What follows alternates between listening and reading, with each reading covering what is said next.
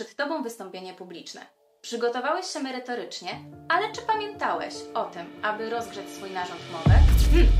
Pewnie teraz się zastanawiasz, co to w ogóle jest. Między innymi są to policzki, wargi i język. Pokażę Ci teraz parę ćwiczeń właśnie na te obszary. Rozpoczniemy od rozgrzewki naszych policzków. Pierwsze ćwiczenie jest takie. Nabierz powietrze do policzków i przerzucaj to powietrze z jednego do drugiego. Spójrz.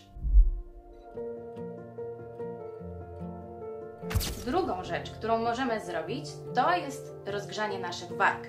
Jak to zrobić? Spróbujmy coś takiego. Zrób szeroki uśmiech i wąski dziubek. Pamiętasz, co było następne? Język. Tutaj mamy dużo ćwiczeń, ale pokażę Ci takie, które będą neutralne dla Ciebie. Spróbujmy coś takiego.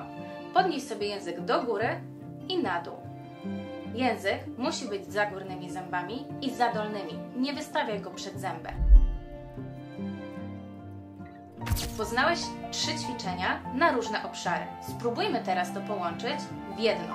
Jest jedno ćwiczenie, które zaangażuje te wszystkie elementy. Językiem pomasuj przestrzeń policzków i przestrzeń za wargami. Teraz jesteś przygotowany nie tylko merytorycznie, ale również mięśniowo. Powodzenia!